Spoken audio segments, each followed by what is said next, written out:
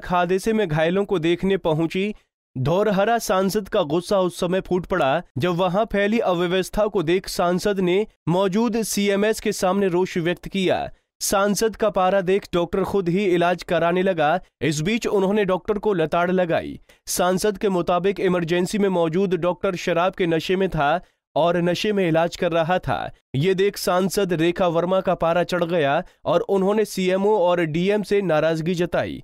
फ़िलहाल सांसद का पारा ज़िले में चर्चा का विषय बना है, क्योंकि तीन सालों तक जिला अस्पताल का रुख न करने वाली सांसद को अचानक क्या हो गया?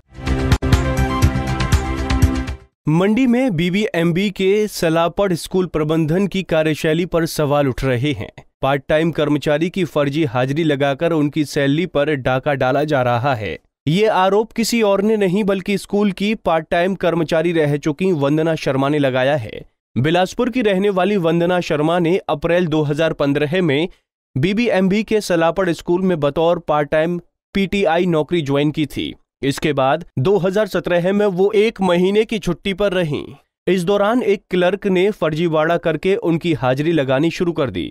इस बात की कंप्लेंट मैंने जो जुलाई महीने में हमारे नए प्रिंसिपल प्यारे लाल जी आए तो मैंने उनके पास की मैं सर, मेरे साथ ऐसा ऐसा जो धर्मपाल क्लर्क है ऐसा ऐसा ऐसा ऐसा कर रहे हैं। तो फिर उन्होंने बोला कि प्रिंसिपल ने बोला कि कोई बात नहीं, आप सैलरी दे दो बीबीएमबी यहाँ पे बहुत कुछ होता है। अगर आपको सैलरी वापस देने को बोलो तो आप दे दो। फिर मैंने इस बात का जब विरोध किया तो उन्होंने बोला कि नहीं, यहाँ पे तो बीबीएमबी में नौकरी पाने के लिए तो पंद्रह, बीस बीस लाख रुपए देने पड़ते हैं। आपकी तो सैलरी ले रहे हैं, ये तो क्या कुछ भी नहीं है तो। मैंने उनके पास एक रिटर्न में कंप्लेंट भी लिख के दी थी। उन्होंने वही कंप्लेंट मेरे सामने फाड़ के फेंक दी।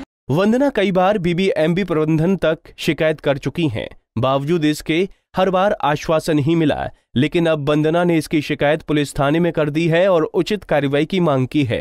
मुझे न्याय दिया जाए कि और जो अंडर इन्वेस्टिगेशन केस चला, वो उसमें पुलिस भी कुछ मतलब संतोषजनक कार्रवाई नहीं कर रही है।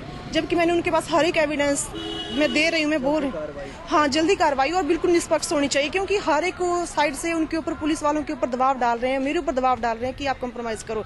जब मैंने कंप्रोमाइज नहीं किया तो उन्होंने मुझे स्कूल से ही निकाल दिया। बीबीएमबी के सलापड़ स्कूल से लगातार मिल रही शिकायतों के बाद आखिरकार बीबीएमबी प्रबंधन ने जाँच कमेटी गठित कर दी है।